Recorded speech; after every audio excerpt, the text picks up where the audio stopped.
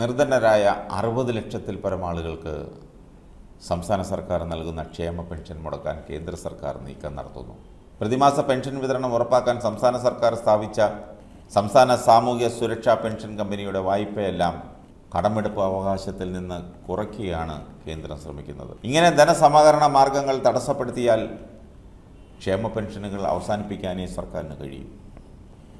U D F സർക്കാർ പോയപ്പോൾ ക്ഷേമ പെൻഷൻ ഇരുപത്തിനാല് മാസം വരെ കുടിശ്ശികയാക്കിയിരുന്നു. അതായത് രണ്ട് വർഷം വരെ. കോവിഡ് വരെ ഓണം ക്രിസ്മസ് വിഷു ആഘോഷങ്ങൾക്ക് മുമ്പായി മൂന്നോ നാലോ മാസത്തെ പെൻഷൻ ഒരുമിച്ച് നൽകും.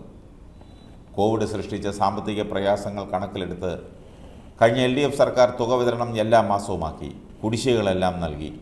ഇതിന് പ്രതിമാസം ആവശ്യമുള്ള എണ്ണൂറ് കോടിയോളം രൂപ കണ്ടെത്താനാണ് പിണറായി സർക്കാർ പെൻഷൻ ഫണ്ട് കമ്പനി രൂപീകരിച്ചത്. പൊതുഖജനാവിൽ പണം ഇല്ലാതെ വന്നാൽ പെൻഷൻ കമ്പനി താൽക്കാലിക വായ്പയിലൂടെ തുക കണ്ടെത്തും.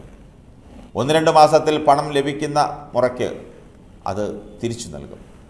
ഈ വായ്പയെല്ലാം സർക്കാരിന്റെ ബജറ്റിന് പുറത്തുള്ള വായ്പയായി കണക്കാക്കുകയാണ് കേന്ദ്രം ഇപ്പോൾ ചെയ്യുന്നത്. കഴിഞ്ഞ വർഷം പലതവണയായി പെൻഷൻ കമ്പനി വായ്പയെടുത്ത ഏഴായിരം കോടി രൂപയിൽ ആറായിരം കോടിയും തിരിച്ചടച്ചു കഴിഞ്ഞു. ആയിരം കോടി മാത്രമാണ് യഥാർത്ഥ വായ്പ കണക്കിലുള്ളത്. എന്നാൽ ഏഴായിരം കോടിയും പൊതു പൊതുവായ്പയിൽ നിന്ന് വിട്ടുമെന്നാണ് കേന്ദ്രം ഇപ്പോഴെടുത്തിരിക്കുന്ന നിലപാട്. ഇതോടെ കമ്പനിക്ക് താൽക്കാലിക വായ്പയും കിട്ടാതായി. ട്രഷറിയിൽ പണം ഉണ്ടെങ്കിൽ പെൻഷൻ നൽകിയാൽ മതിയെന്നാണ് കേന്ദ്രം ഇപ്പോൾ പറയുന്നത്. സംസ്ഥാനത്തിന് അവകാശപ്പെട്ട കടമെടുപ്പ് പരിധിയാണ് വെട്ടിക്കുറച്ച് കേന്ദ്ര സർക്കാർ പ്രതികാരം ചെയ്യുന്നത്. എങ്ങനെയൊക്കെ പിണറായി സർക്കാരിന്റെ കഴുത്ത് ഞെരിച്ച് കൊല്ലാമോ? അങ്ങനെയെല്ലാം ചെയ്യുകയാണ് കേന്ദ്ര സർക്കാരും ബി ജെ പിയും. ആദ്യം ചെയ്തത് കേരളത്തിലെ വികസന പ്രവർത്തനങ്ങൾക്ക് തടയിടുക എന്നതായിരുന്നു. അതിൽ കാര്യമായ മുടക്കുകൾ നടക്കാതെ വന്നപ്പോഴാണ് സാമ്പത്തിക സ്രോതസ്സുകൾ അടയ്ക്കാൻ നോക്കുന്നത്. കേരളത്തിന്റെ ഒരു സ്വന്തം മന്ത്രി കേന്ദ്രത്തിലുണ്ട്. അദ്ദേഹം കൃത്യമായി വികസനത്തിന്റെ കടയ്ക്കൽ കത്തിവയ്ക്കാൻ മുൻപന്തിയിൽ തന്നെയുണ്ട്. ഇങ്ങനെയും ഒരു മന്ത്രി.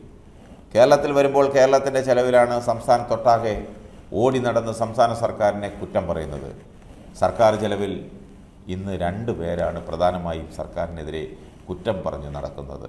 ഒന്ന് കേന്ദ്രമന്ത്രി വി മുരളീധരനും മറ്റൊന്ന് പ്രതിപക്ഷ നേതാവ് വി ഡി സതീശനും. അത്താഴ പട്ടിണിക്കാരുൾപ്പെടെയുള്ളവർ നൽകുന്ന പൊതുഖജനാവിലെ ചില്ലിക്കാശിലാണ് ഇവർ നടത്തുന്ന കസർത്തുകളെന്ന് ഓർക്കണം.